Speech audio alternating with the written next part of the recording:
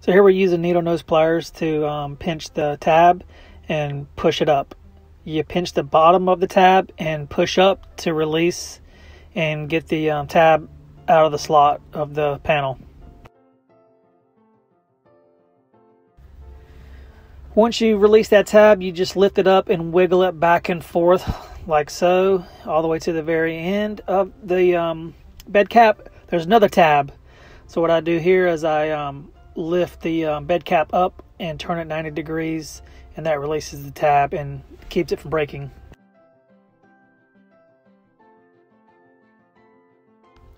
And once the bed cap is removed, you have a lot of access.